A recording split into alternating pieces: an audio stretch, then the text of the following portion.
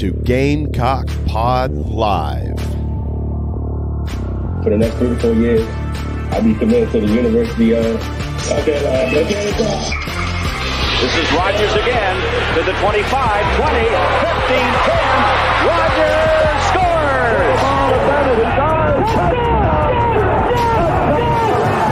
Jackie Bradley Jr. delivered for the Gamecocks. Lost it up, looking for Kelly. Touchdown! Can you believe it? And South Carolina is sending shockwaves through the SEC. Frederick! Frederick! Lays it in at the buzzer! That's a win! Unbelievable! I don't believe it! And now, live from Studio 54 of the Gamecock Pod Studios, here's the cockfather himself, Keith Allsep.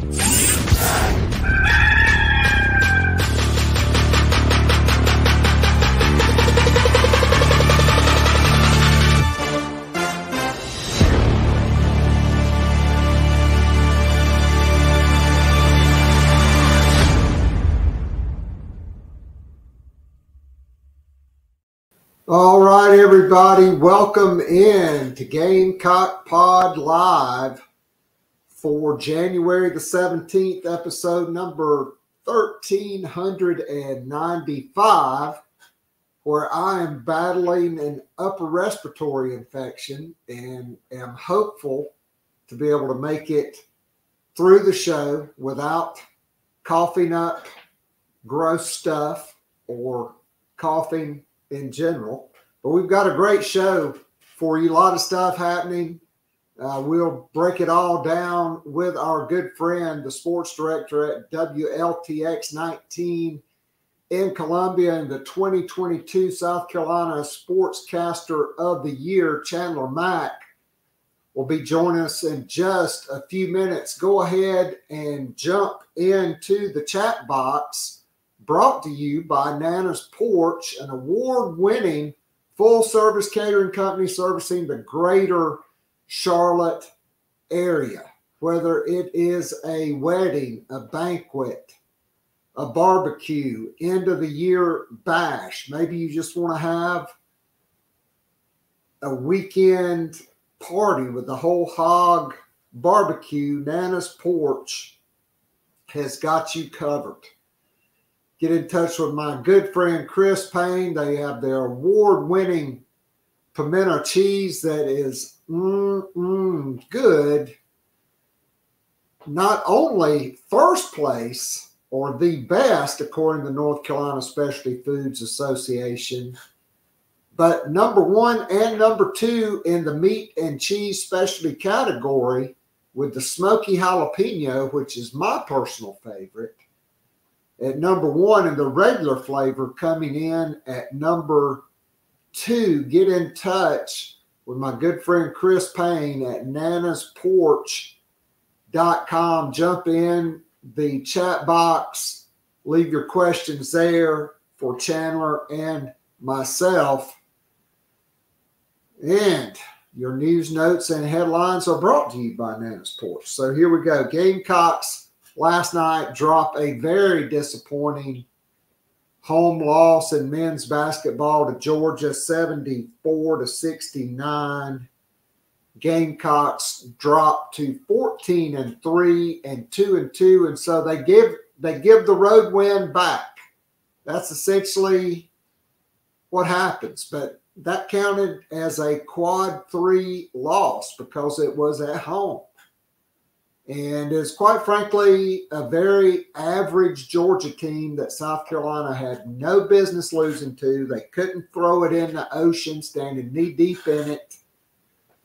And yes, the officiating was an issue, but the bottom line is you can't miss a bunch of layups. You can't miss 15 free throws and in the second half go through a stretch where you are two for 11 from the free throw line for the first 15 minutes and 26 seconds of the half. Two for 11.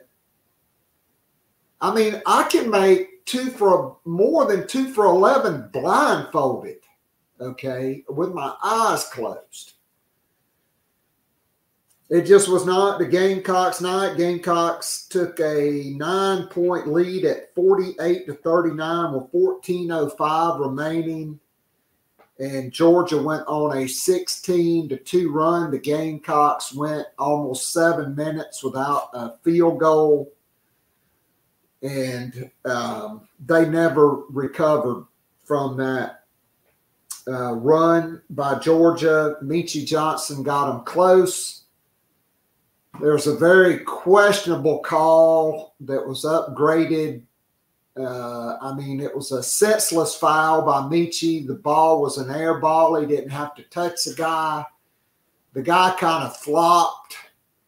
Um, they called it a flagrant. Georgia only made one free throw, but then they end up getting a bucket. So it was a, still a three point possession.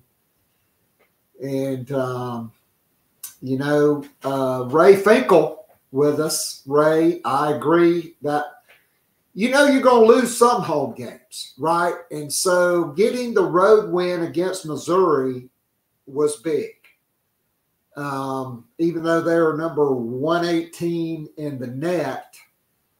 But man, you are really making hay if you get that Georgia win. You're three and one in SEC play. You don't give back the home uh, the road win, which is basically what you did last night. Quite frankly, nobody not named Meechie Johnson really had a good game. I guess BJ Mack had 16 points, five of 13. We'll break it all down uh, with Chandler Mack coming up. Okay. Last week, Shane Beamer expected to make two coaching moves and really three with one person shifting roles at South Carolina, and that is James Coley was hired last week. He is a coaching veteran. He is an SEC veteran. He's a native of Miami. He brings strong recruiting chops and an SEC pedigree he coached with Nick Saban at LSU and with the Miami Dolphins. He coached at Florida State, uh, at Miami. Then he was on Kirby Staff's initial, uh, Kirby Smart's initial staff at Georgia, along with Shane Beamer. Uh, he coached wide receivers there for two years Went to Texas A&M with Jimbo Fisher, another guy from the Nick Saban coaching tree. He coached wide receivers and then uh, was the co-OC and the tight ends coach. He will coach wide receivers at South Carolina. He is an ace recruiter. Um, Justin Stepp will shift and coach the tight ends with Jody Wright getting the head coaching job at Murray State. Uh, South Carolina also filling their running backs position. It looked like last Wednesday was no, I'm sorry, Friday. Uh, I was on with Mike Uva on our Free for All Friday show, Looked like South Carolina was going to hire Coastal Carolina running backs coach Newland Isaac. He chose to stay at Coastal at the 11th hour. And um, it's pretty much between him and Jimmy Smith. Neither one of them wound up ending up getting the offer. It was Marquel Blackwell, who was also at Texas A&M last year. He's considered one of the rising stars in the industry. He played uh, at Lakewood and Dixie Hollins High School in Pinellas County, which is in the St. Pete area. He went to USF. He was a quarterback. He played um, a little bit in the NFL. and then began uh, a career in uh, uh, a little bit in Canadian football, and then in arena football, got into coaching. He's been at Western Kentucky, Florida, Toledo. Spent several years uh, with Dana Holgorsen. One year, their last year at West Virginia, three years at Houston. Then was with Lane Kiffin at Ole Miss, where he recruited and coached Quinshon Judkins, and uh, then went to Texas A&M, climbing the coaching tree. And of course, it went off the rails for five loss Jimbo. And uh, when Shane Beamer went to College Station to interview James Coley, along with Dowell Loggins, they also interviewed several other coaches, and Marquel Blackwell was one and he is considered a rising star in the industry.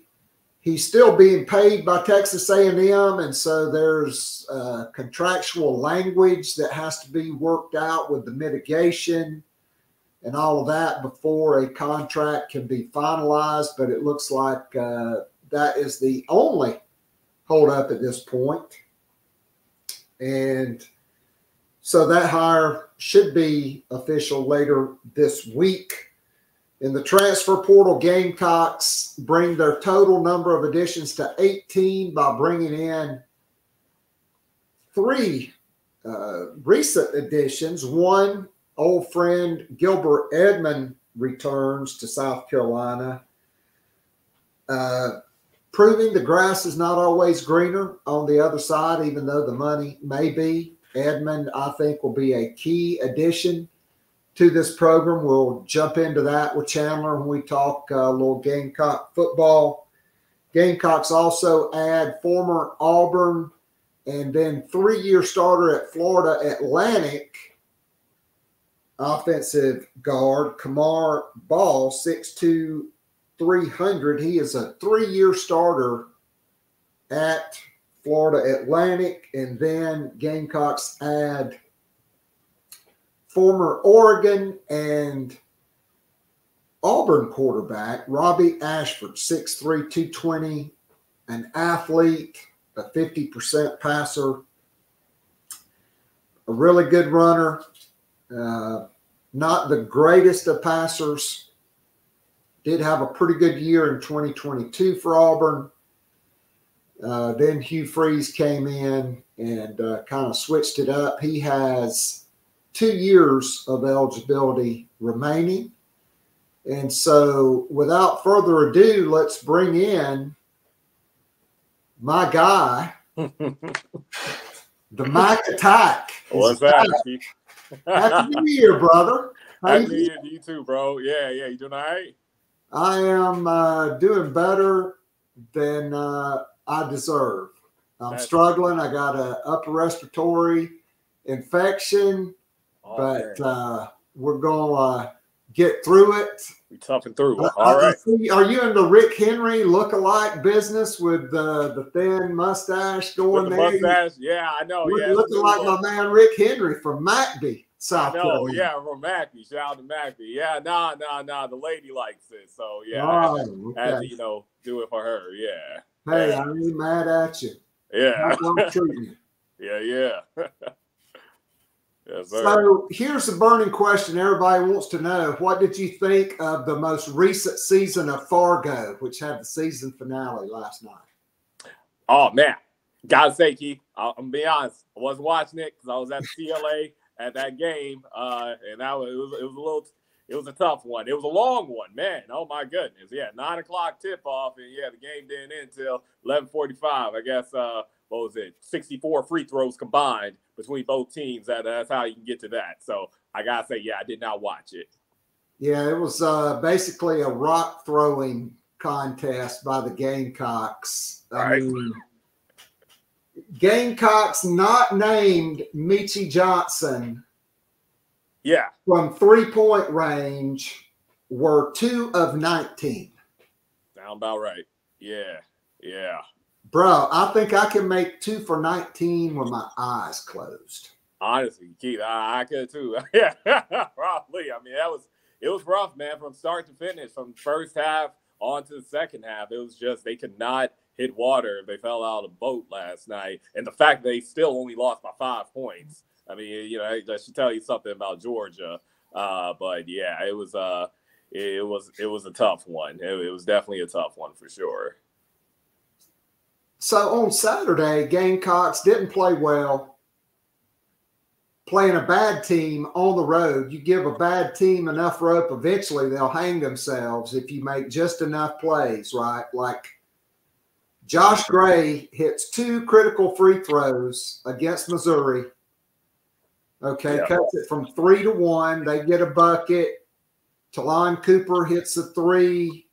They take it to overtime, and Missouri chokes off two front ends of one and ones, and the Gamecocks make just enough plays Yeah, uh, to to win that game. Right, like uh, our guy Jacobi Wright hits Oh. a patented baseline fadeaway, same one he hit against Virginia Tech yeah, and uh, Missouri can't get a good shot. And so you picked up an SEC road win, which was critical coming off of, you know, Alabama. thrashing at Alabama, right? Yeah. You just didn't show up in the second half. exactly. And, you know, it was great to get a BJ Mack sighting because he had been MIA in the first two SEC games. You were lucky uh, to get Mississippi State at home with Tolu Smith, that being just his second game back.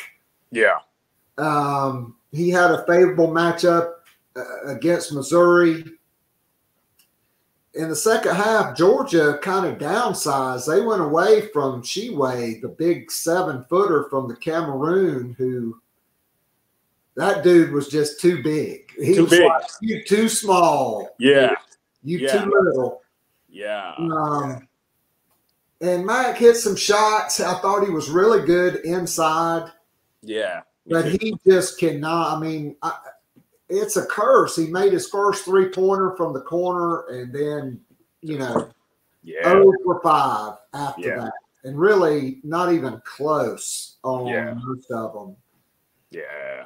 Um, but still, Gamecocks have the lead at the half. Yep. Okay, just they were only down one at Alabama, only down one against Missouri. They have the lead against Georgia. They come out and they go up 48 39 Yeah. with 14.05 to go. And you think, here we go. Mm-hmm. And from there until like five and a half minutes, they Georgia goes on a 16 to 2 run. Yeah.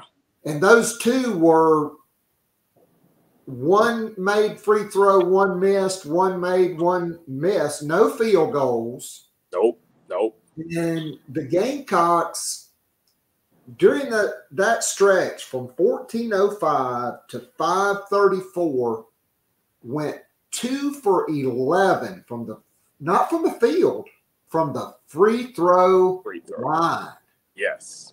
And Yeah. look, I mean, just your thoughts. I mean, we could talk about the officiating, but when you miss 15 free throws, when That's you miss point blank layups, and then you miss 23, you cannot bring, you cannot blame the officiating as bad as it was, which, you know, clearly there were some rotten calls for the Yes. Gamecocks last night. It, it- yeah, they, they there certainly were were very key. But yeah, like you mentioned, you missed 23 pointers, you six for 26 from three. That's not going to get it done. Literally, you hit two of those three pointers, you win that game. 74-69 game. Then my thing was, and this is like my biggest takeaway from the game that I was like telling everybody afterwards, it was just, dude, 15 missed free throws. I think Josh Gray missed like six straight in, in, in the span of like two minutes, right? That just can't happen ultimately. I mean, again, you hit six of those free throws, which still isn't necessarily the greatest percentage. I'll be like 23 for 32, I think. Not that great, but you win the game once again. You gotta you gotta hit those free throws, honestly. And like you said, all the missed layups, all the missed missed three pointers. I mean, ultimately, that's that's why you lost the game. Yeah, the officiating could have been a heck of a lot better than what it was, but you had your chances. Georgia, literally, I was like literally sitting there on the on the on the like on the side, Keith, and I was like, dude, they're giving the Gamecocks chance after chance. Somebody do something, right? Somebody make a free throw, somebody make a three pointer, and it just seemed like again, like you said, if it wasn't Meechie Johnson, if it wasn't BJ Mack in the first half, in the first two minutes of the first half, it seemed like nobody could hit a three pointer. And again, that's that's that's why you lose that game. Um, it's tough for them because it would have really been nice to have gone into Saturday's game with with a you know a three and two SEC record, but you know now obviously yeah you're not that. But um, but yeah, man, it's yeah, it, it was Yeah, definitely three and one going into Saturday's game. That's it. Yeah, yeah, yeah. I was thinking about my bad. I was thinking about Clemson and their loss against Georgia Tech, and that had me uh, a little, little, little confused. But uh, yeah, yeah, that's it. You would have been three and one going into that game. Now you're two and two, which still isn't awful, not bad, but man, it's just it, it would have been a lot different, like you said, going in there three and one instead of two and two. Yeah, I mean, here's the thing: when Meechie Johnson goes on a heater, he he doesn't cool off until he's back in the locker room after the game. Exactly. Like, I, look, I get it. BJ Mack is a very confident dude. Yeah, I think probably too confident when he's standing out there. Yeah. Dude, use that 260 pound wide body to Yeah. set a ball screen Uh-huh. for Meechie and roll and get your big ass down on the block and go to work because yeah. you did not have Tchewa in the second half. Exactly. He should have dominated down there because he does have a nice low post game. But I mean, Yes. is it me or is he just not tough enough? Does he just like to stay out there and jack up too many threes? To me, it's too many threes. I mean, a lot. Yeah, yeah, for sure, Keith. And then, like, I mean, I mean, I, don't know. I mean, it's like the trend that we're seeing with with a lot of guys now, where even in the in the pros, it's like I, I'm a Lakers fan. I'll see Anthony Davis chucking up threes all the time. Like, dude, if you don't get in the freaking paint and do, like and and and dominate, do what God put you on this planet to do, please, man, right? So I, I think that's just the trend with a lot of big men now. They're like, okay, well, I need to stretch, stretch the floor, all that, which works totally, totally fine. But like you mentioned, when Big 54 is out the game in the second half, hey, this is the time, all right? And when, hey, Meechie, yeah, he's doing his thing, but no one else is really helping him out like that. Okay, BJ, yeah, let's let's we're, we're gonna give you the ball inside and let you do your thing because, like you said, he has a really good low post game. I think it's pretty good in the mid range too, and sometimes they don't utilize that enough either. But yeah, yeah, I mean, definitely, uh, he he can lay off the threes just a little bit, especially if they're not falling. Like you take your first three and you, you miss two of the three, okay, yeah, that that that that should tell you, okay, maybe I shouldn't shoot more than five threes this game. Let's try to take it inside, especially like you said in the second half when you have the advantage. I really thought a key injury in the second half was Myles Stute. He didn't have a great first half, but he comes out, hits a three, which really ignited him a little bit. Yeah, right when South Carolina's building that lead, and then you know they get the hold and hook and pull his shoulder out. He's having the MRI today. He could not return.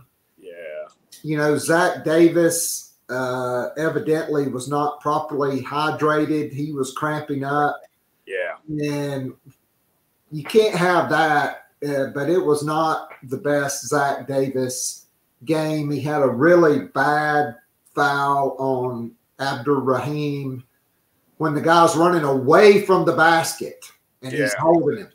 Uh, and they're already in bo- bonus, and that put them in double bonus.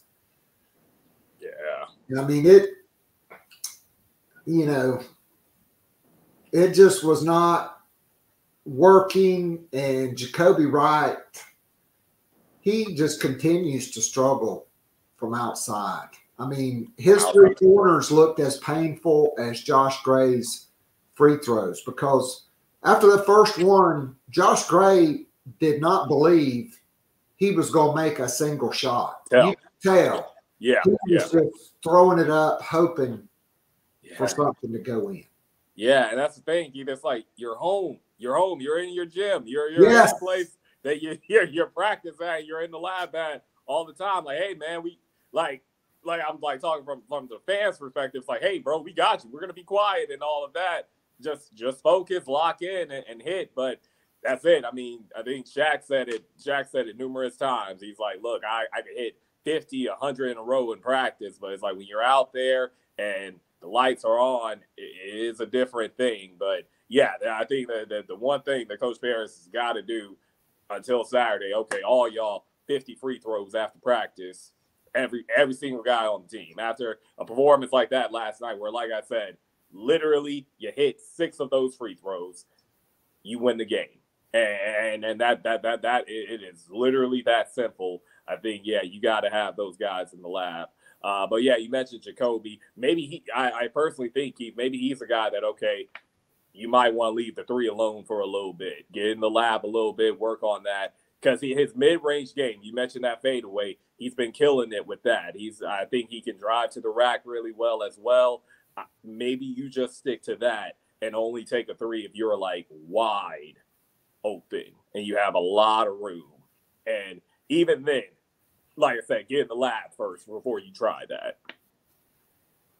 Yeah, I mean, sometimes, and I thought this was the case in the first half. I thought Georgia's strategy was to allow BJ Mack to shoot open threes. It looked like that, right? Players not named Jacobi or uh, not named Meechie Meechie. Johnson to shoot open threes Yeah. because I don't think they. I thought they felt like that was a good strategy. Then we saw in the beginning of the second half, they brought their big man way out to hedge, and you saw them throw it over the top into Collin Murray Boyles because of the way Georgia was playing defense. outside. Exactly.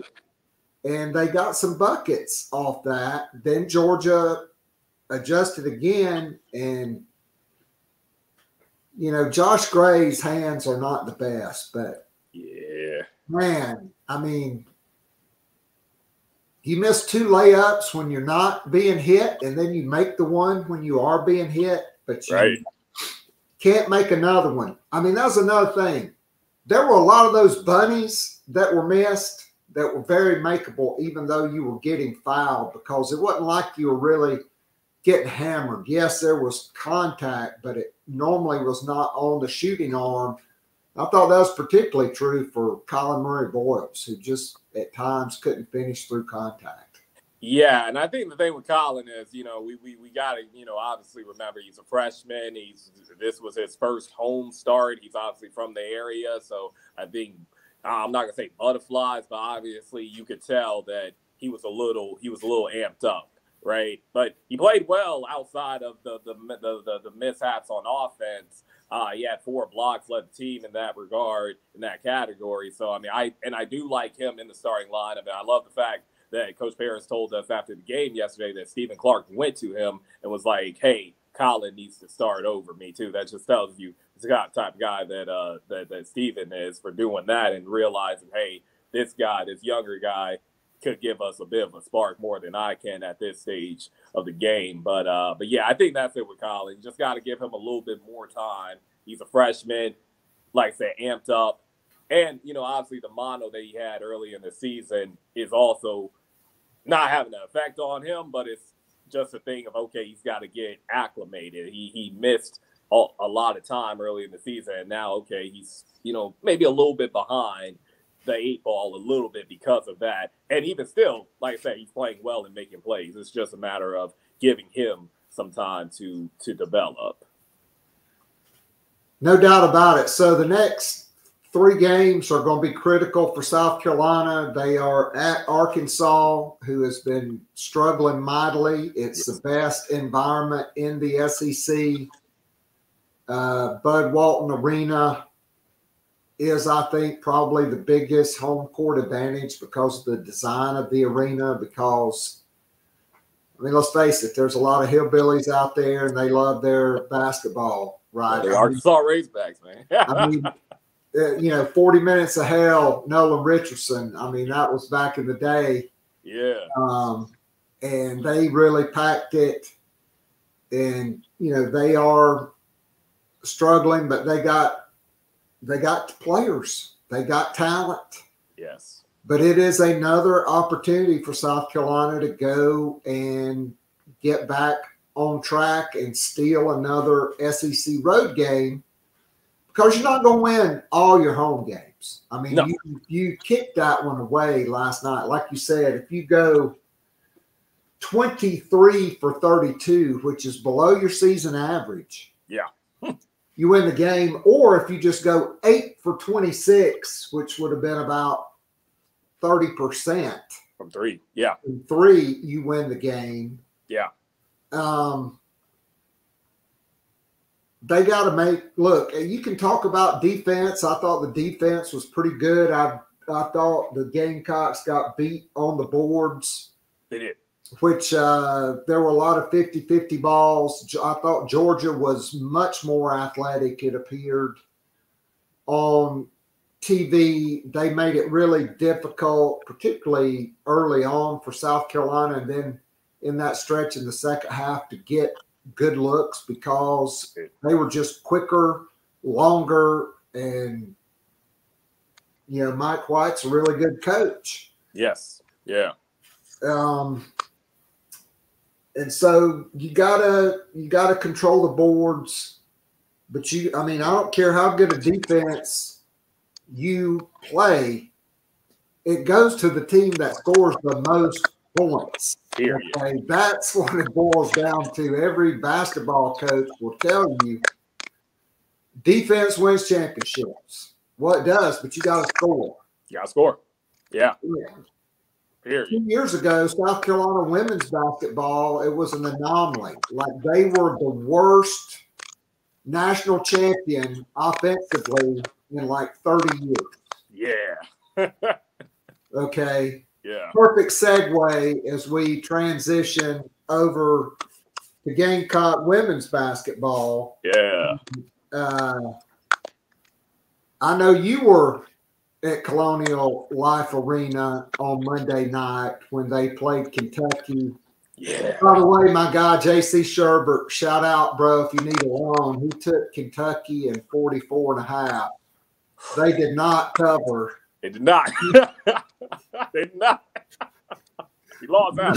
98 to 32 and they could have broke the scoreboard if they wanted to right Yes. Dawn had to call off the dogs Uh huh. um but Ashlyn swatkins Swatkins, Dunkins, all of that. Yes. Yes. dunkins was dunkins donuts she gets the pilfer the plunder the thunder i mean she threw it down Threw it down. close. Like you Nope. go back and look on the, the Gamecock women basketball Twitter account, they have four still frame photos. Yeah. Like, look, let's just be honest. BJ Mack and the BBV and others on that men's team wish they had Ashlyn Watkins' vertical. Honest. Yeah. I mean, she's up there. I wish I had that vertical. I beat me too, When. I was- back in the day when I was playing. Yeah, nah, me too, Geet. Yeah, man. My gosh, yeah, Woo. it was it was so crazy. And the great thing was was like we were we were like I was shooting it, and you could tell when she was gathering, she was about to do it. And if you if you watch them warm up, that's the that's the goal that like that's the rim that they warm up on and all of that. And she'll usually end the warm ups with a dunk, literally from that angle. On like from the left the, on the left side, she'll come and then she'll dunk like that. So we've seen her do it numerous times. You, you clearly tell that she was comfortable with doing it. And yeah, it was like we saw her steal it. Everybody got up, and I'm like, yo, I think she's she's gonna dunk it. And then she did, and it was from that point on. I don't know if you you you like Pete this either, Keith. I think it was 15 to 11 when she dunked. That made it 17 to 11. So from that point on, the Gamecocks outscored Kentucky 81 to what would it be 25. After that, that literally changed the entire trajectory and and, and course of the game. And I mean, it's it, it, it, it was wild, man. I mean, the, the like the I mean, we'll we'll dive into like how loaded they are in a bit, but literally to beat uh, uh, Kentucky's not what they used to be when they had Rhyne Howard and all of that. They're they're not that. They're eight and ten right now, and like I said, they're not what they used to be. They're probably not to make the. Not probably. They're they're not to make the tournament this year, but still, they're in the SEC. To beat them by 62 points, it's mind-boggling. It's And, crazy. and Cruz. Cruz. Because, let's face it, not only was it 81 to 25 after that, it was 31 to 10 to end the first half. Exactly. 31 to 10, and then 33 to 11 in the third quarter. And then against the reserves in the fourth quarter, they only scored four points. Exactly. I mean, they that's kind of like Vanderbilt in football. They knew they would already taken their Yeah. you know, beat down. They were ready to, you know, get a shower and get on the bus back to the airport and fly home. Exactly. Yeah. Like let's go back to Lexington, Kentucky at this point in time. Because yeah, this was yeah. Yeah. Right, so let's talk about just how different this team is for our audience. South Carolina is the number one team in the country. We all know that. They've gone Absolutely. back to the unanimous number one now that UCLA lost. Yeah. Exactly. Yeah. Okay, but that's not what I'm getting at. They are number one in the nation in three point field goal percentage. Yeah. Okay, they are 44%. They only they average 7.3 makes a game. So they're not shooting, That you know, 30 and making 14. Okay. hmm Te-Hina Paopao, the number one three-point shooter in the country. Pow Pow! Yeah. Pow pow. Fifty-seven percent. How's that even possible, man? Like 57% Yes. from downtown, 42 of 74, 57%. I mean, dare uh, that to quote Dan Patrick, dare I say, in fuego. Yeah. For real. That's before your time, bro. I know yeah, you've seen, yeah, yeah. I know I've you've seen, seen, the- seen, I know you've seen the, clips. the video. Yeah, yeah, yeah. I see the clips. Yeah, yeah. Thank God for YouTube. That's right, YouTube. yeah. Um, Threezy Hall. That's hashtag Threezy Hall. That's the thing. yeah, even, I even had to correct her dad, Brian. It's Threezy, T H R E E Z Y. exactly. Hall. They're easy. Yeah. Capital T, capital H, Uh huh. 3Z Hall. 48%. And in the most recent road game at Missouri, she she showed her whole bag. Like she went into the deep, all the way down into the bag, off the bounce, from downtown, in the mid range, everything. Yeah. But here's the thing there are four players and three starters that all shoot at least 41% from distance. And Malaysia Full Wiley Yeah. add it to the reel, right? That's what my man Ryan Rucco says. Yeah. He is not one of them. It's not. Yeah. Okay, because on the road, she just throws up some very bad looking threes, and then when she's at home, she just bottoms them out. Bottoms them. Yeah. Right. That's that's freshman. You know, that's yeah, that that that, that that's yeah. Yeah, she's gotta learn to take. Well, we, we know she can take the show on the road. I mean, we saw that in Paris in the very first game of the season. But yeah, she's got to learn how to take the three point game to the road, which she will. She she definitely will. All right, so Tessa Johnson, man, silky smooth. hmm 42%. She's come on of late. She has, yeah. Um, Raven Johnson, 41%. Yeah.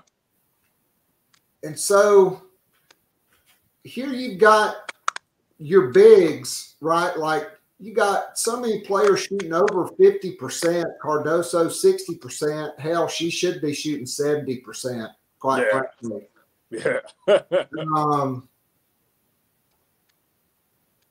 but this team, I think, is the most difficult team to guard because if you try to take away the three and run them off the line, they're going to go by you.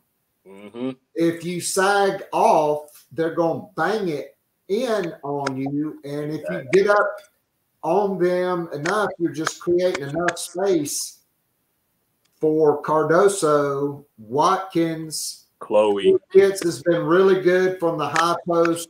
Yes. I think, you know, these next two games will be really huge test for her on the road, more against more physical opponents. She's kind of struggled uh, Yeah. to finish inside, but not Swatkins. Not at all. Not Sania Feagin. And so you got depth at every position. Every. the kryptonite, same thing that got the men. That's been a more seasonal problem for the Gamecocks has been free throw shooting.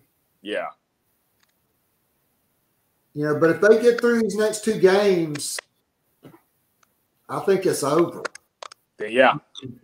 We'll Yeah. be seeing angry Kim Mulkey face because she will not be winning the SEC this year. Nah. Nah, not the regular season. Now, I said this last year, Keith, and I don't want to wish this on them, but I thought last year what hurt them a lot was the fact that they didn't lose at least one time.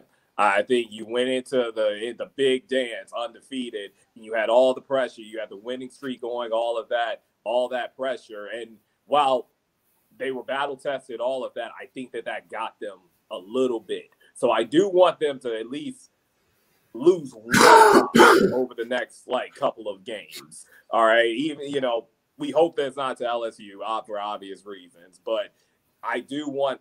I think that would be good for them, just so they know, okay, this is what a loss feels like. We don't ever want to experience this again, and now we can really go out here and, and win another national championship. Because I think that that's what helped the loss to Kentucky in 2022 in the SEC tournament championship game. I think that's really what helped that team go over the top because they were like, look, we don't ever want to experience this pain again.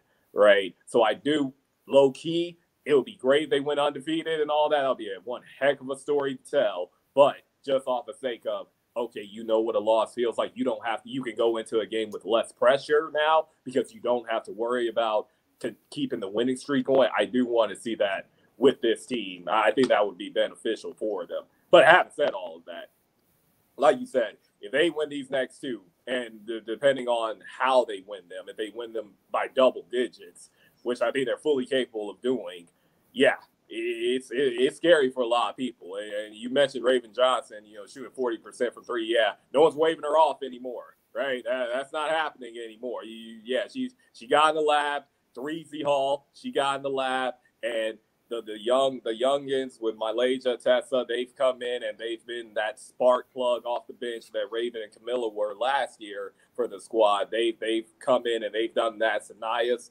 been rising, it's been better and better. And yeah, I mean, as we you, you said, Ashlyn, I mean, the fact that she was perfectly cool with yeah, Chloe can start. I'll come off the bench and be you know be a part of that spark plug, and she's totally totally embraced it. I think she's she's only second on the team in blocks because Kamilla is, you know, six, seven, six, nine, and you know, obviously she's first. But the fact that she's still second behind Kamilla, is mind-boggling, man. And then just the, the way she's able to get steals and and and, and all of that, and, and still be able to create her own shot on offense. I mean, yeah, they're I mean they're just they're so loaded, and you kind of said it. They really have no weakness outside of the free throw shooting, and even with not the greatest free throw shooting, they're still beating teams by 39 points on average, right? I mean, even with that, so yeah, it, it, it's wild. I mean, I, am not ready to necessarily say that they're better than the team than last year's team and the team that won the national championship in 2022. But I think when you see the firepower that this team has, the teams from from last year and, and two years ago, they're not being a team 98 to 36. They may be a team 70 to 36, but the scoring, the way that this team is just able to score in so many different ways and not really have a weakness there that's the difference for me. That's the thing that makes me say, I, I don't know. I don't know because they just have so much firepower. And the firepower isn't like one of those, like they live by the three, die by the three type things. No, it's like if they live by three, yeah, they're going to beat you by 60 or whatever. But even if their three's not falling, they're still probably going to beat you by like 30 and still probably put up like 80 points. And, and I think, yeah, that's the difference. I mean, no doubt. So I I believe this team is deeper and more talented. Yeah. I'm not saying they're better because you don't have the national player of the year, Aliyah Boston. Yes. I mean, at this point, I think you have to compartmentalize because at this point now, you don't really want to lose. If you lose in the conference tournament, I mean, anytime there's a trophy involved, you do not want to lose as a coach. As a coach, yeah. You sure. just do not. As yeah. a player, you don't. Yeah. I felt like that team could handle it. I just don't think the refs could handle it because let's be honest. Caitlin Clark getting away with murder and and their bigs uh, assaulting Aliyah Boston right. and then calling touch fouls on her. Yeah. Completely taking one national player of the year off the floor while leaving one national player of the year on the floor who pushes off on every play. Yeah. And then uh, everybody's outraged when on Sunday they finally called someone. Yeah. Why the damn things on Friday? On Friday. If it had been, South Dawn Staley would have been cutting down the nets because, I mean, bro, they they beat down LSU last year. They had no shot no. Uh, against South Carolina. No, and no. I don't know that they do on next Thursday, but for me, I have not seen the improvement in Cardoso that I'd hoped to see. Uh, Your thoughts on that? On that, I, I, I would say you know, because that was the thing I was worried. I, I was kind of worried about Keith with with with, with Kamilla because you got to look at okay, who is she following, right? And who was that person following? Basically, like Aliyah was essentially following A'ja Wilson, and in my opinion, lived up to it. And, and they were like, I mean, you want to talk about the greatest players in Gamecock women's basketball history? I mean, that's one A, one B, and then whoever you know, pick your poison with it, right? In, in my opinion, because you can say, okay, A'ja may have been more dynamic offensively. Okay, well, Leah was a better defender than A'ja. A'ja ultimately developed into a great defender, is now Defense player of the year two times over, and all of that. But when she was at Carolina, you know, it, it took she she was focused on offense because she didn't have to be as focused on defense, right? But so that's what she's following. She's following the the, the two goats, two of two of the players who are on the Mount Rushmore, right? And she already was coming in not as skilled as them and, and still trying to develop her game and all of that. And while yeah, I think she has certainly grew in a lot of areas because I was watching like the game Monday night. I realized, wow, she is a really great passer. Like she can really pass out of a double team very well, pass like onto a fast break really well. She can do all of that. Um, but yeah, her post game may not be as advanced as we may have hoped it to be. But again, you got to look at well, she really asked, is she being asked to do all of that, like Aliyah was asked to do all of it. Not really, because she has so many other people on the team, so many other weapons on the team. So she's not. We we you know I feel like we can't really say okay, she hasn't developed a real post game like that because we haven't really seen her be asked to to do that. Like she's asked to grab the rebound, put it back, and then every now and then get it if you have like a disadvantage and lay it up. And yeah, sometimes she misses it, but I have noticed she gets that rebound. And where last year she may have missed the putback, now she's hitting a lot of those putbacks. Like if she misses the first shot and has to like get the second chance point, she's hitting that a lot more frequently this year. So I have seen, like I said, in those areas I've seen improvement, but I think it's like we can't really say as far as her post game if she's really improved like that because we just haven't they haven't had to ask her to do it because again there's so many other weapons at her disposal if you will that she doesn't have to now that's going to be a thing to when she makes a transition to the WNBA she's going to have to develop that right because this is going to be a lot different but as of right now I mean, yeah, she you know she can get by doing what she's doing, and she's doing it well. She's doing it very efficiently. I mean, I still think though this team plays inside out. Like I said, they don't yeah. Accept a ton of threes, like around 15 per game on yeah. that because they're making 7.3. So maybe at 14. No, it's yeah, it's probably about 15, 15 16 per yeah. game. They're making 7.3 per game. They play inside out. Like yep. I think they would go into her more if she was finishing more shots because she's in there. They're wanting to throw it up to her. Now, sometimes they don't always throw it up like they should throw it up to yeah. her. I guess the regression I've seen is her bringing the ball down. Like last year, I thought she kept it up over her head more. Yeah. Uh, that may be just a coaching dynamic shift from Fred Chmiel to Lisa Boyer. Maybe. Yeah.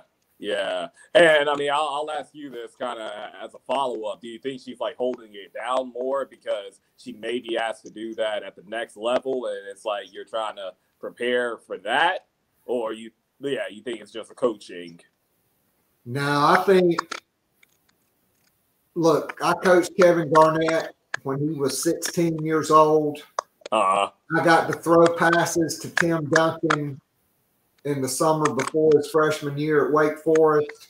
Mm. When those guys caught it, I never saw him bring it below here. He kept it okay. Always, always right, ne- never down here. Okay. So if you're six seven, why are you going to bring it down to where a six foot player can or a five nine player can get their hands on? Yeah. When they catch it up there, you want them to be strong but Kamilla mostly can just feel the defense and turn away or turn in and score. Yeah, because you saw it in everybody pretty much. Yeah. yeah, and especially with a wingspan. Yeah. And it helps you draw more fouls instead of having the ball stripped and getting more jump balls because it, there are a lot of strips and a lot of jump balls. So, yeah, I know I only got you for a few more minutes. So, just your reaction to the college football coaching shift. Nick Saban retiring. Right.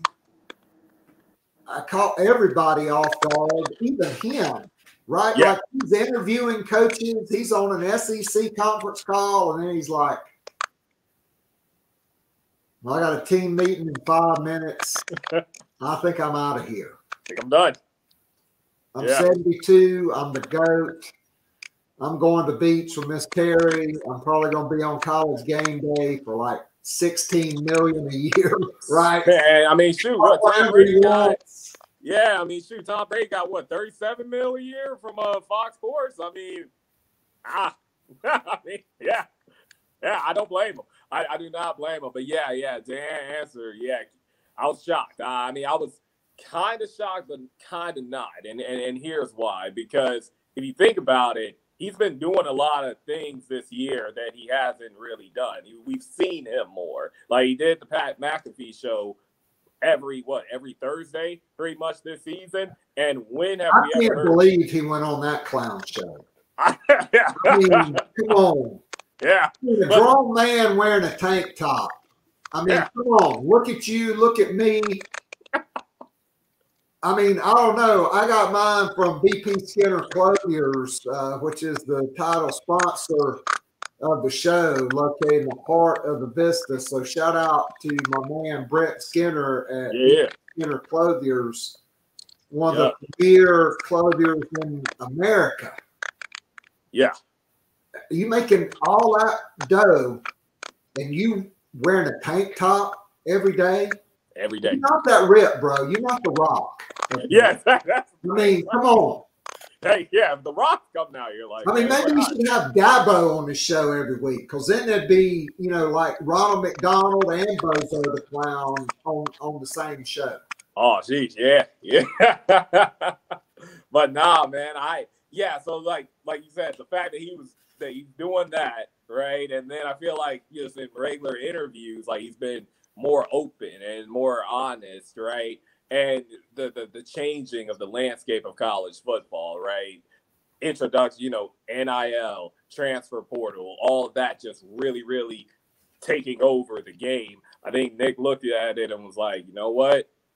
I'm good. I got the most out of this team because I mean I talked to a lot of people, got a lot of friends who covered like Alabama and all of that, and they told me, dude, this team is not is not that good. And they're, you know, yeah, they beat Georgia, but it's gonna be tough for them in the playoff. And I was like, I mean, dude, it's Alabama. Like, nah, they they'll figure it out. Yeah, they're playing Michigan, but yeah, they'll they'll beat Michigan. Oh, I was shocked. Nah, I mean Michigan, I mean they they were legit, legit. And, and yeah, and they they I mean they shut it down, shut it down for real. And I think he, he said, look, I got the most out of this team. And like I said, the landscape of college football is changing a lot. I'm 72 and I can get this big deal from college game day and ESPN. I'm just to go home. And yeah, so in that sense, but still, like I said, the shock came just off of, oh my gosh, he's actually doing it.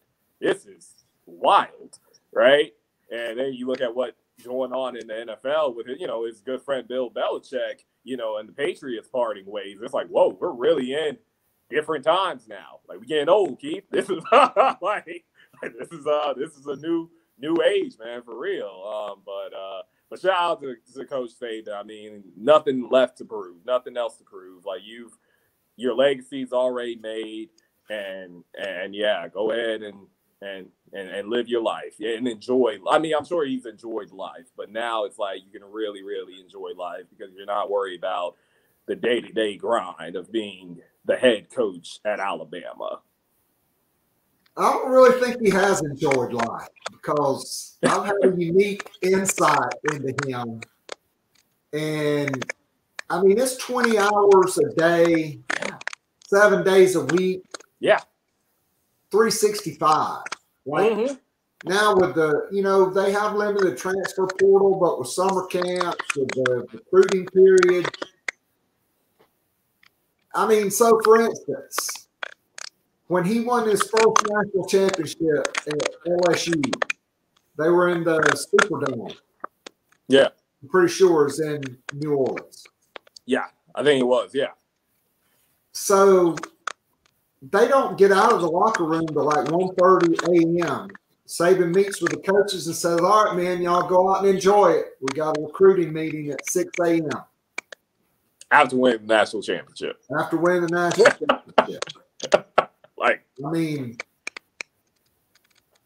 next level, that's man. why, that's why his staff is paid so much and why there's so much turnover. Like I know my friend Brad Lloyd, like Nick Saban left Michigan State, he went to LSU, he interviewed for the job. He got the job. He called the office. All the coaches were in there. He said, Hey, I'm sending the plane. Tell all those guys, tell all the guys that want to come to LSU to be at the airport. They're all sitting around the office. They're like, Man, you going? Yeah. Like, man, I just don't think I can do it. How about you going? Nobody left. Bobby Williams got that job. He was on staff. He kept everybody. Yeah, Nobody went. When he went to Alabama, he had to have the highest paid coaching staff in the country because of the demand. So I'm hoping he will enjoy life, him and Miss Terry. And uh, I do know there's a different side to him than what we see, but some people work to live, some people live to work. Yeah. So I think that's it for him. Yeah. So obviously Belichick, Pete Carroll, Nick Saban, all gone. It just goes to show it is becoming a younger man's game. Kalen DeBoer to Alabama. yeah. Jedd Fisch from Arizona to Washington. Yeah. San Jose State, coach goes to Arizona. Mhm. All those players 30 days in the transfer portal. Yeah. It's wild, man. There's yeah. a coaching change. Well, the portal's closed. Well, not for them. 30 days. 30 days. Yeah. And so, hey, what happens when Jim Harbaugh is the next coach of the Chargers or Yeah. the Falcons or whoever the Redskins, uh, well, the Commanders. Commanders. Yeah. Excuse me, not the Redskins. Yeah, it's tough, man. I, I always say, I just say Washington because I know Washington. I'm, Yeah. I'm gonna say, yeah, I'm gonna say. I mean, they haven't been relevant, bro, since John Riggins played and they were the Redskins. Exactly. Yeah. Be honest. Yeah. Yeah. Yeah. Rigo. Yeah. So, anyway, I mean, then what if LSU or uh, Michigan decides not to hire Sherrone Moore and they Yeah. bring in Brian Kelly? Then Yeah. LSU's up. Then, then that's 30 days. Then is Mhm. Lane Kiffin getting that job? Right. Yeah. Probably. Or Yeah. maybe the dude at Florida State, then that's going to be 30 days. I Yeah. mean, is it ever going in? Never gonna end. Never gonna end. That's that's yeah. It's and that's why I think Nick was like, yeah, I got it. it's time. Yeah, I mean, do you have to spend all the time re recruiting your own players every year? Because now players can transfer every year. Every year. Madness. I think there's going to be a mass exodus to the NFL unless something. Something changes. And, and, like, what's your opinion on this? If if I, because I, I've been thinking about this, it's like okay, the thing that I, I'm I'm not really in love with is that a guy can literally be at school for like basically four months, their freshman year, and then they're like, you know what, I'm gonna enter the portal. I feel like there there needs to be maybe a mandate, like okay.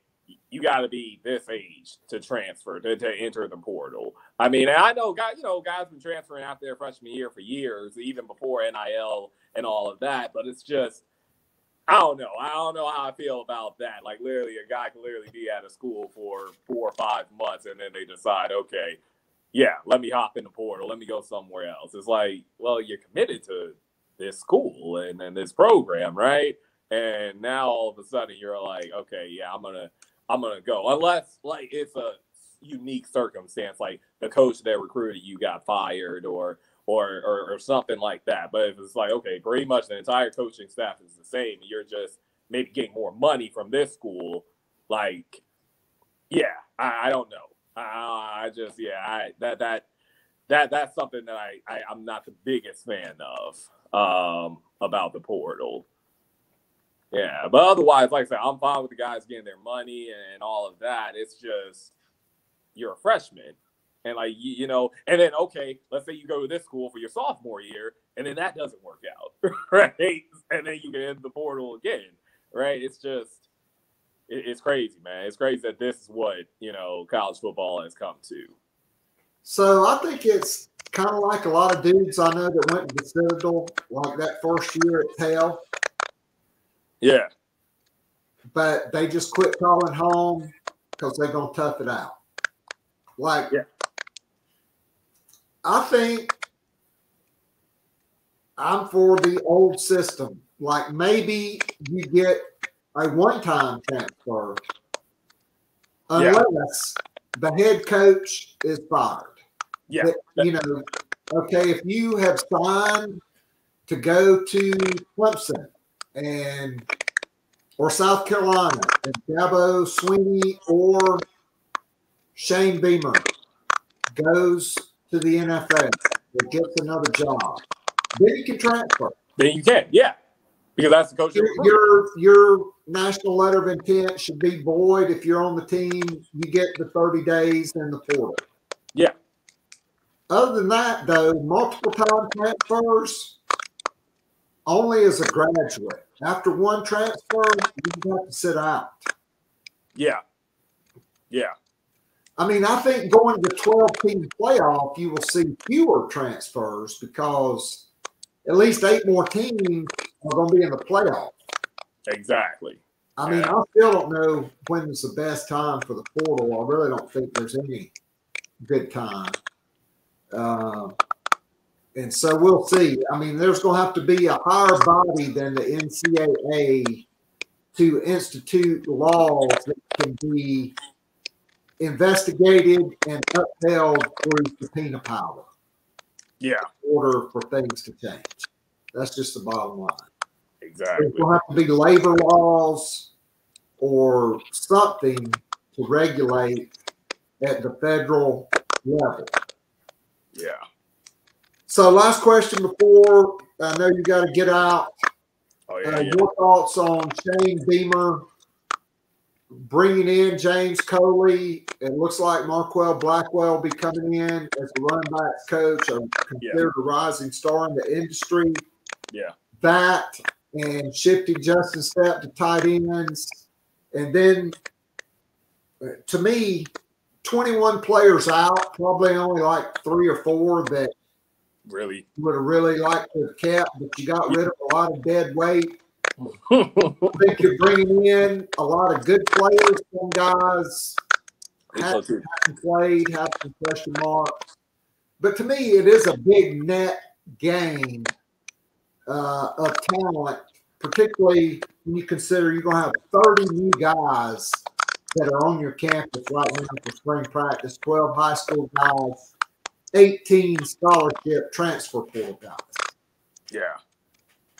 Yeah. I like it. I, I, I like. I really, I really enjoyed the moves that they made um, during um, during the, the portal period, and then in, in recruiting the, the, the the freshmen that are coming in. I I do really like it. I think what we are going to see from this offense next year is going to be a lot more run oriented. I feel like. I mean, you can just tell off of the fact that you have a 6'4", 245, 440 pound quarterback LaNorris Sellers, who, yeah, he's got cannon for an arm, but let's be real, he can run the ball very, very well. And then we know, okay, bringing in Rocket Sanders uh, from Arkansas, yeah, he had an injury plague year last fall, but before that, man was all SEC player, and he knows Dowell Loggins pretty well too from their time at Arkansas. So I think you're going to see him be involved a lot in the offense, which is great because let's be real, yeah, the run game, especially the last, really the last two seasons, but definitely last year, it was not great at all. So that's going to be nice. And in the SEC,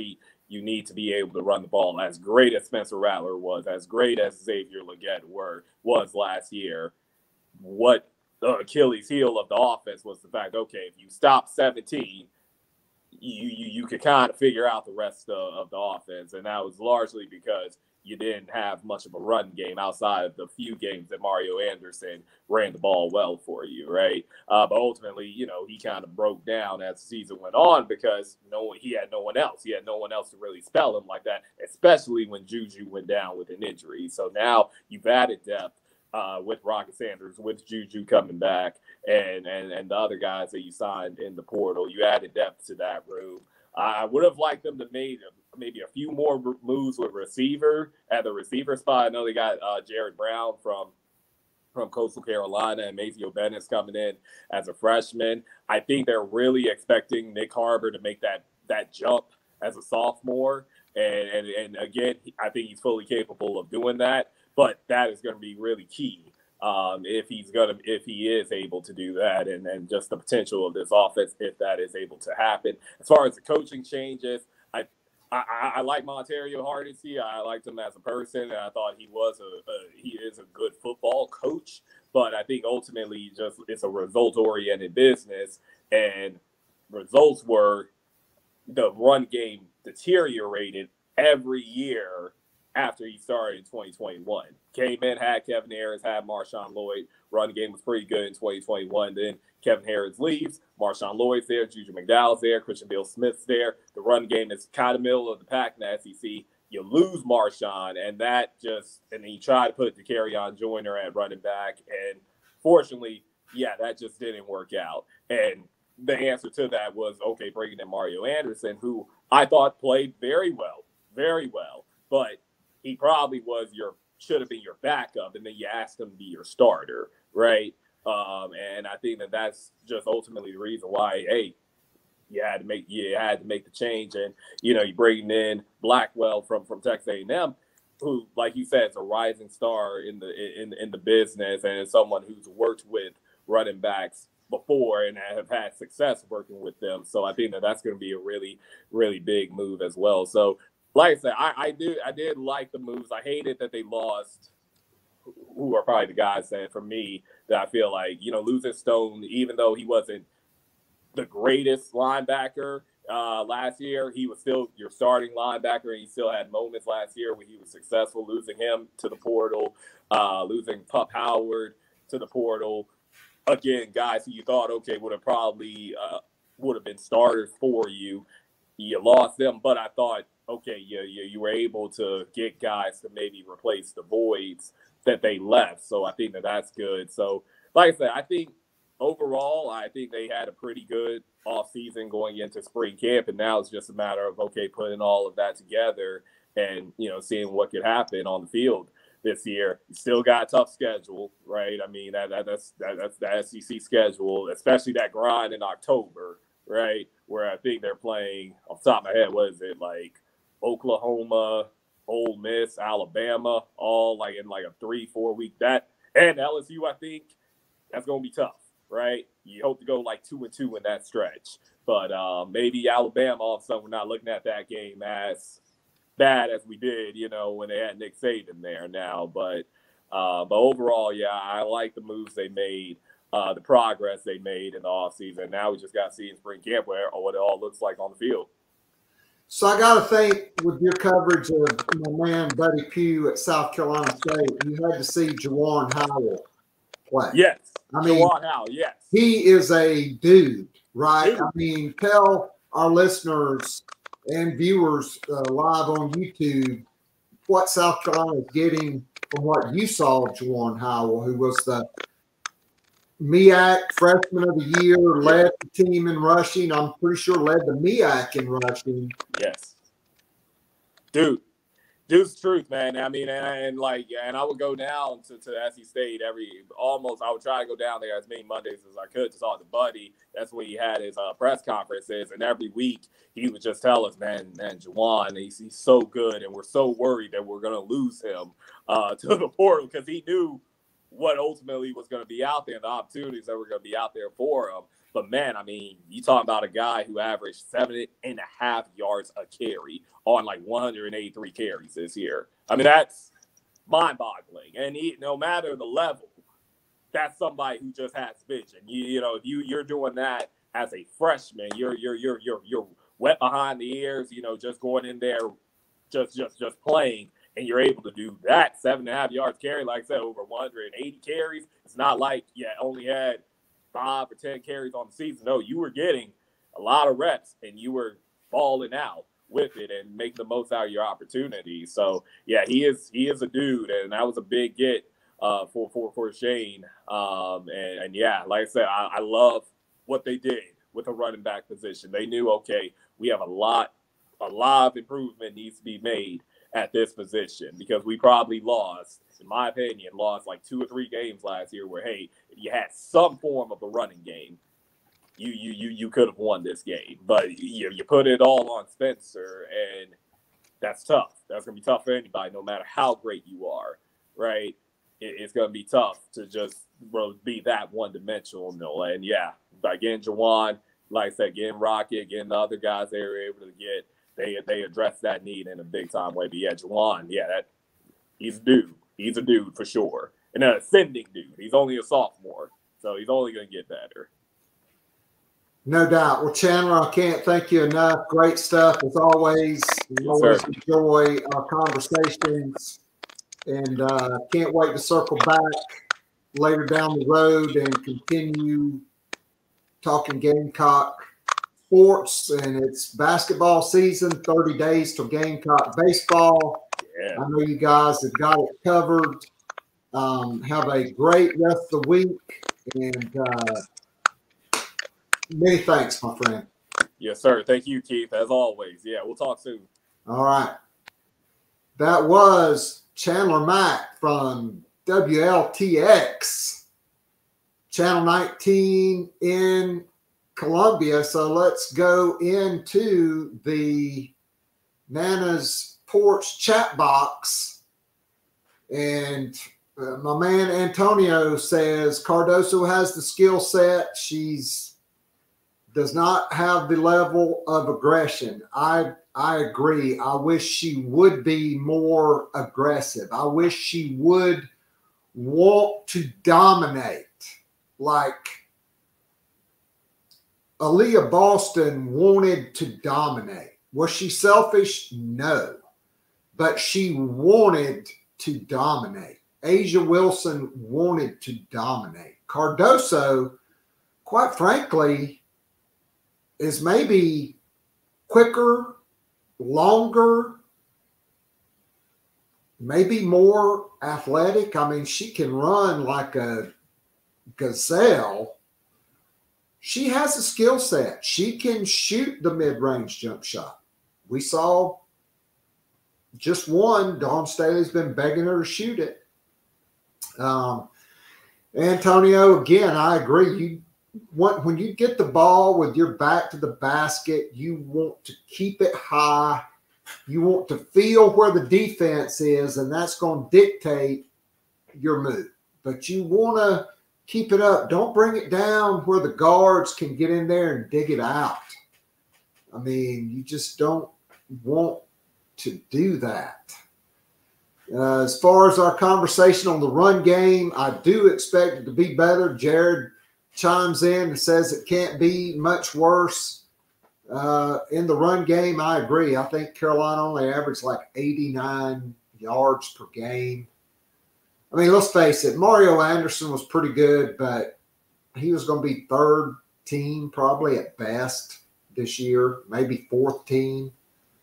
Um, I mean, I thought he got some bad advice going in the portal, not taking the money, going, you know, then he ends up going to Memphis. You know, Jalen Nichols thought he was going to go to North Carolina. They wound up getting another dude. He winds up, I think, at Memphis. Um, they got bad, bad advice, but the Gamecocks, I like uh, the transfer portal additions. I think you know, since you did not have the money to spend on a starting quarterback like a KJ Jefferson, like uh, Maalik Murphy from Texas, who you brought on campus, like the five star from Southern Cal, who's going to Boise State. I mean, you would have liked to thought you could have beat Duke and Boise State, but the reason you couldn't was you weren't promising you know, or even Central Florida, you weren't promising those guys they were going to start, right? I mean, look, Dowell Loggins, he's coached quarterbacks in the NFL. He's seen great quarterbacks. He's seen bad quarterbacks. He was at Arkansas for two years with KJ Jefferson. I mean, if he thought South Carolina needed to go all in on a starting quarterback, they could have invested in that. I think we have to trust him because he was around LaNorris Sellers every day, and he is a dude, but he's still going to be a young redshirt freshman. There are going to be some growing pains. It's really not ideal. You know, uh, somebody asked me uh, on our premium uh, chat on Patreon uh, in the Cockaboose Lounge about, you know, should we be worried if uh, Robbie Ashford's a starting quarterback? Well, yeah. Now, if LaNorris Sellers struggles during the season, could you see him, you know, stand on the sideline for a couple series or if he gets banged up? Is Robbie Ashford going to be okay? I think Dowell Loggins can develop him as a passer. He's a career 50% passer. You know, same amount of touchdowns as interceptions. That's not ideal. And so you hope you can make him a one and a half or two touchdown to one quarterback guy, a guy that's not 50%, but maybe that's 60%. I would have preferred AJ Swann because it's easier to take out the quarterback run game in your offense if you have a really accurate passer than it is to bring in a guy that's not that accurate, but he's just a runner then you become more one dimensional. So hopefully Ashford improves. He's given the opportunity to improve. Um, you know, Dante Reno is a very talented player who came in. He's on campus now. I mean, look, Trevor Lawrence was god awful in the All America Bowl. I mean, he threw a pick six, like his first throw in that game was a pick six. It happens. I do think South Carolina has made a lot of upgrades on the roster. I do think Robbie Ashford's better uh, than at least one of the quarterbacks you lost to the portal. The other one's given up football. So, I mean, you definitely signed three dudes at running back. As far as the net loss at wide receiver, you're not replacing Xavier Legette and you didn't bring in Juice Wells. Not yet. Okay, you did bring in three portal guys uh, that are talented. I like all three of them. Gage Larvadain uh, is probably a slot guy, but so is Jared Brown. Amari Huggins Bruce, I do think you'll see South Carolina try to get one to two more portal wide receivers. Um, you also have DeBron Gatling, who was in the Under Armour All America game. You bringing in Mazeo Bennett. Uh, you know, Jared says if Michigan loses Harbaugh, do they have a mass exodus? Well, I think that depends on who you hire. If they promote Sherrone Moore, I don't think they have a mass exodus. Will some players check their market value on the portal? Sure. Now, if they bring in General Brian Beauregard Kelly from Baton Rouge, Louisiana, they probably will have a mass exodus. So will LSU. Um, I mean, that could just set off a whole nother chain reaction then what if Lane Kiffin goes to LSU, then Ole Miss? Think about all those guys they brought in from the transfer portal, the number one transfer portal class. I mean, dudes, Juice Wells, not even really one of their top five or six transfers, and he was the top wide receiver in the SEC last year. So, um, you know, for me, I, outside of the three running backs, I think you did it as best you could at quarterback with Ashford. Like I said, I would have preferred AJ Swann stick with Carolina. I do like the wide receivers. I think they all kind of remind me of, you know, when you had Nicky Jones and Bruce Ellington and Ace Sanders, they were pretty doggone good, right? They struggled against press coverage because they were all small, small guys. You need, you know, Nicholas Harbor to develop. You need the, you know, Tyshawn Russell, who's not the biggest guy in the world. You need your freshman to make a move. But I, do know of at least one wide receiver I feel fairly confident. It's a bigger wide out that will come home after he graduates from his present school, at least as of today. I think they got one of the top tight ends in the portal in Brady Hunt. Obviously, you have to say that when Texas A&M's trying to get him to flip. Uh, I love Torricelli Simpkins, the center from North Carolina Central, played for my dude Cedric Williams. Uh, says without a doubt, Simpkins is a day one starter in the SEC, not just at South Carolina, but in a lot of places um, for sure. So I really like him. I really like adding Kyle Kennard from Georgia Tech and Gilber Edmond. Gilber Edmond was a very productive player um, at South Carolina before he left. He found out the grass is not always greener on the other side. In 10 starts after that Arkansas game in 2022, Jordan Strong got injured. Edmond was a younger player. 39 tackles, nine tackles for loss, two sacks. Uh, was really good towards the end of the year, really good against Tennessee and Clemson. Then went to Florida State. It didn't work out. You know, he only started the Orange Bowl after the mass exodus. They had some NFL dudes ahead of him. He's coming back. I think him and Kennard and veterans that have played a lot of ball that are a lot probably more athletic than the guys that were at the position last year. Um, I mean, let's just be honest. I mean, I think Desmond Umeozulu is very athletic. I don't think we saw the best version of JT Gear because of the high ankle sprain he suffered late in fall camp.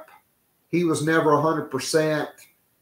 And you're bringing also bringing in Dylan Stewart, who's the college ready and the best pass rusher in the country at that position. You you put those guys on the field along with Elijah Davis, who's going to be a lot better. I mean, all of a sudden you're looking at you know Desmond Umeozulu. You're looking at Elijah Davis. You're looking at JT Gear. You're looking at Kyle Kennard. You're looking at Gilber Edmond, and you're looking at Dylan Stewart. Bryan Thomas Jr. Maybe he can play linebacker. I mean, that's six, six, seven deep right there. Uh, I love what they did at linebacker. I think when you add the two freshmen who are elite you add Bangally uh, Kamara and uh, Demetrius Knight, you're faster, you're more athletic, you're more productive, you're deeper. Jaron Willis is back, Debo Williams is back. Wendell Gregory and Fred Johnson are dudes. You're deeper, faster, more athletic. Um, I wish they would have signed one or two elite corners, but they did not. So uh, they did add Gerald Kilgore, another safety. At corner, it's OD Fortune and young guys. And it's the second year in a row they've not upgraded, but they're not finished. 21 out, 18 in, a big upgrade. Do I have question marks about some of the guys they brought in? Yes. You know, you're looking at Aaron Parks, who really did not play very much at Oklahoma. Can he get on the field? Because South Carolina's returning a lot of guys. They're they've got very young, talented offensive tackles. How does he fit in? You know, uh, Kelly Goodwine from Alabama, a four star guy from the DMV. Really didn't play a whole lot, just like Parks, a four star from the DMV. He's got two years. Can can Travian Robertson develop him as a depth piece. I love DeAndre Jules. I won't be shocked if he's not even a starter. Um, you know, but I do have questions about a couple of those guys. But I think you brought in a lot more players than you lost, even though you didn't want to lose Pup Howard, you didn't want to lose Stone Blanton. I do think you upgraded over those guys um, because they were developmental players. And I also think Pup Howard's a defensive end. He just is. So, um, you know, probably the yeah, I, I do like the late addition on the offensive line of Kamar Bell. He's a three-year starter. Okay, you you're losing Jakai Moore, who is a veteran guard. You're adding a guy there. You brought in a guy that's probably going to start at center for you. I think, uh, you know, Josiah Thompson, if he picks up 30 pounds between now and August, he's just going to be too good at some point. You know, maybe that frees up, you know, you to move Tree Babalade to right tackle. It's going to be interesting. They got choices. I can't wait for spring practice. And then after spring, there'll be another round of the portal. There'll be more guys leaving and more guys coming in.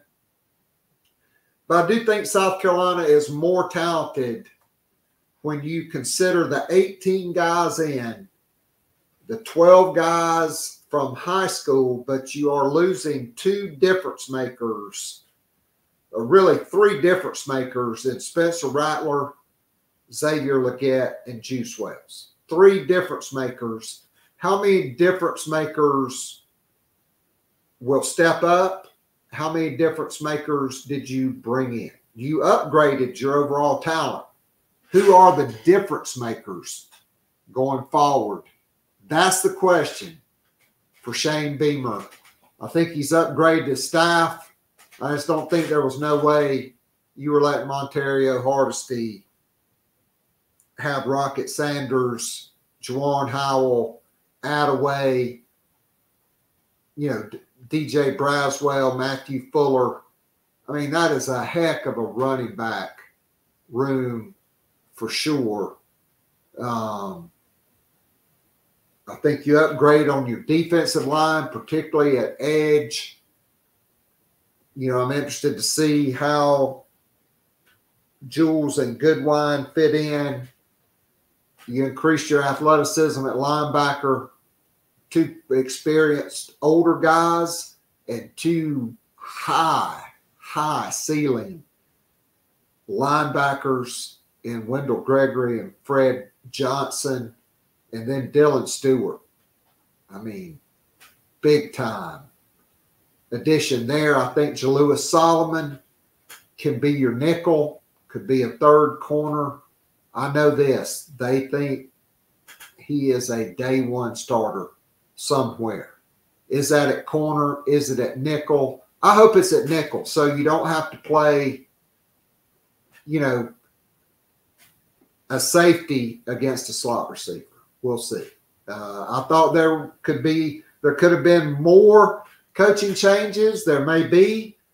Um, I would expect if Justin Stepp can find a job, he will be gone uh, because I don't think he wanted to coach tight ends. And if he can't find a job, I think after this year, it'll be his last year at South Carolina. I think he is a great dude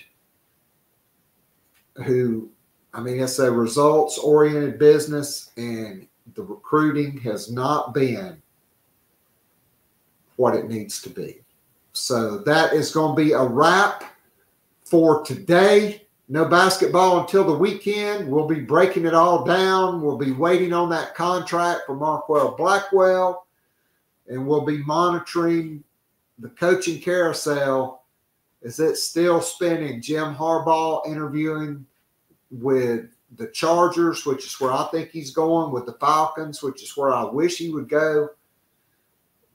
as much of a legend as Bill Belichick is, I know he only needs 15 games to become the winningest coach in NFL history. I think Arthur Blank wants that to be with the Atlanta Falcons. The Falcons need a quarterback, and Belichick, since Brady's been gone, has screwed the pooch at New England at quarterback. Do you make a trade? Do you trade him to the Bears for Justin Fields? Do you move up in the draft? Do you do you go get Drake Maye or Caleb Williams? Do you sacrifice a bunch of number ones? Because outside of that, you got the roster to win now. Um, do you hope, you know, Jayden Daniels falls to you at eight? I don't know. Those are all questions that will not happen probably until after the Super Bowl, and the, the draft is not until April. So that's going to be a wrap. I'll be back uh, tomorrow. I'm headed uh, for the doctor's office to try to get some medicine. Thanks to everybody. I know I was a little nasally today, but special thanks to my dude, Chandler Mack, one of the best in the business. I'll be back tomorrow and Friday on Gamecock Pod Daily. Go Gamecocks and God bless all of you. I'm out of here.